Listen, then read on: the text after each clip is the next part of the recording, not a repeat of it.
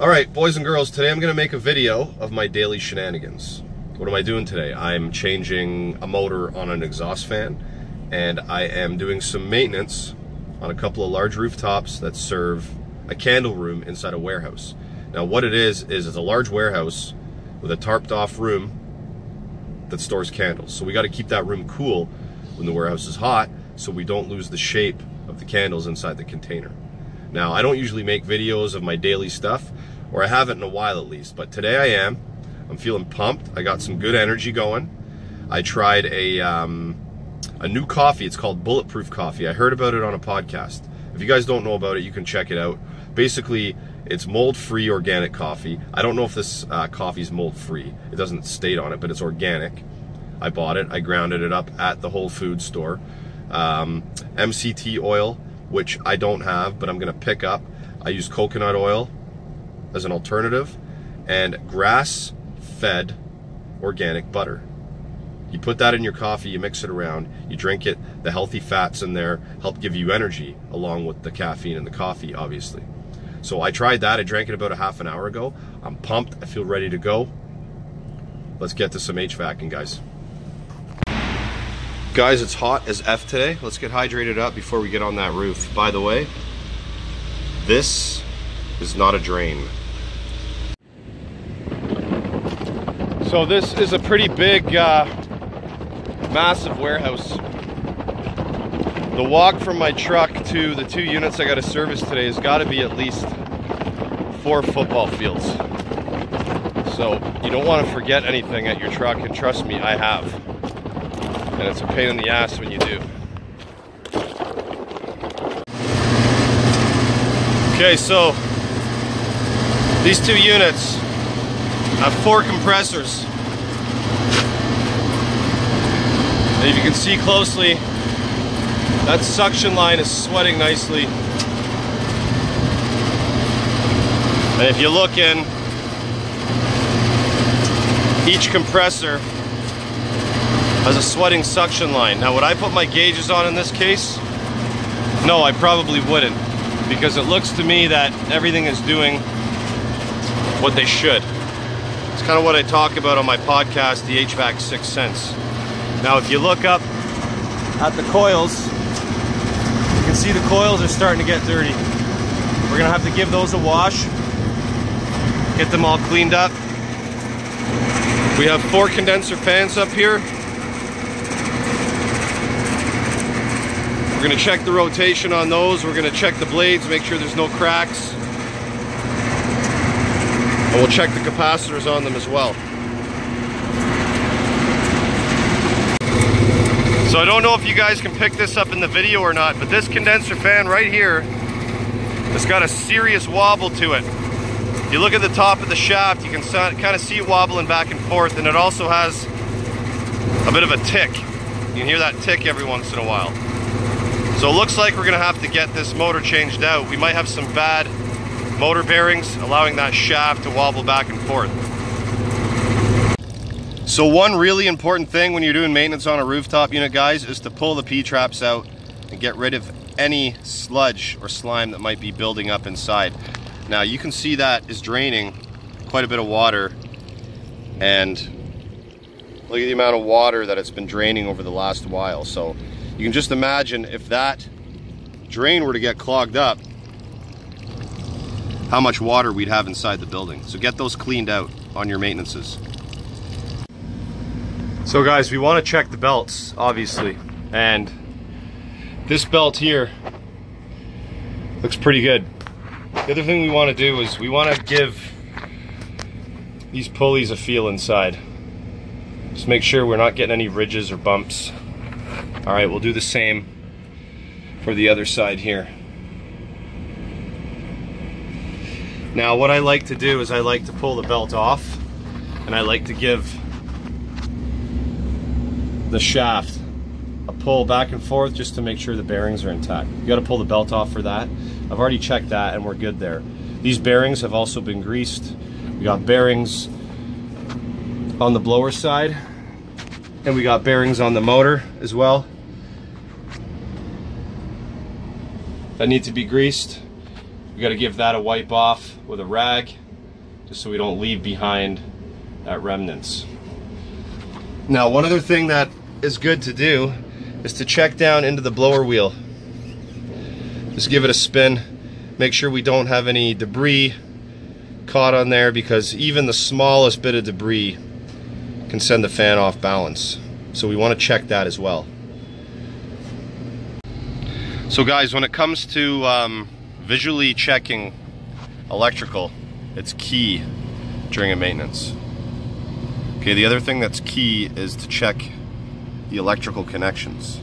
Now I have the cover pulled off of this contactor and you want to check for pitting, you want to check for excessive carbon buildup. And we got to do that to all of them. But visual inspection is key.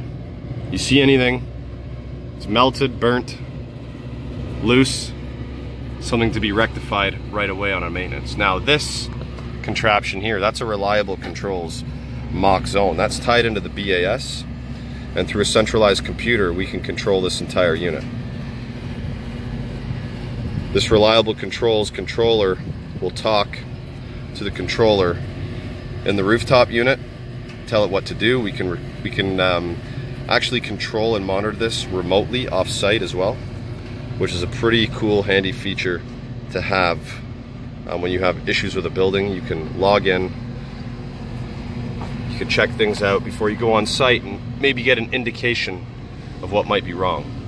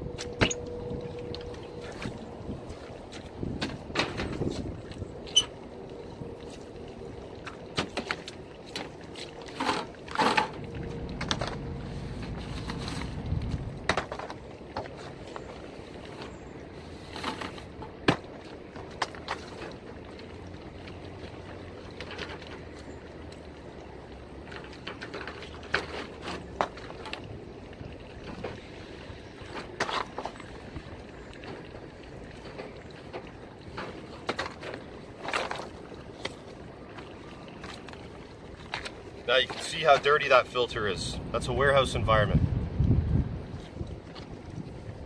Even black on the back.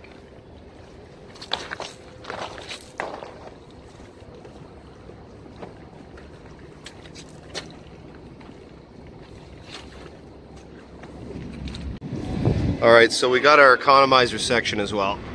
So the way this works is we have some fresh air that comes in here filtered And if we want to add fresh air to the building, these dampers will open. If you come to the back side of this,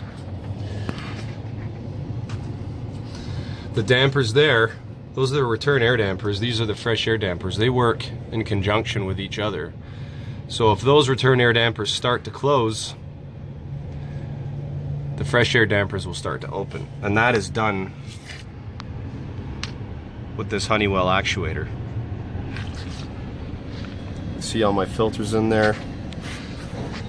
One thing that I try to do, um, and I know that's hard in residential to do this, but I try to have the pleats in the vertical up and down position rather than horizontal.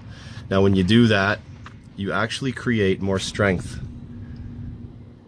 this way than you do if the filter pleats are this way because when they're horizontal, the filter can actually collapse onto itself. So this is the best way to do it where you can. So that's pretty much it for this rooftop, guys. I'm gonna get that motor changed. We're gonna get those coils cleaned. we're off to the races.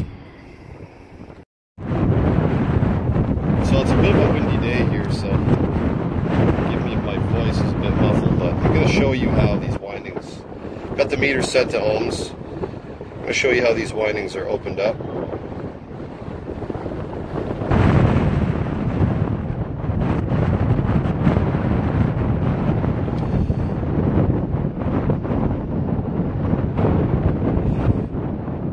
Open line.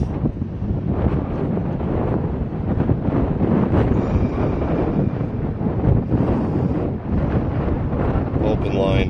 And if you guys notice, I'm trying not to touch the wires with my hands because the moisture from your hands can actually give a reading through the meter and it can give you a false reading. So try not to touch the meter leads with your hand.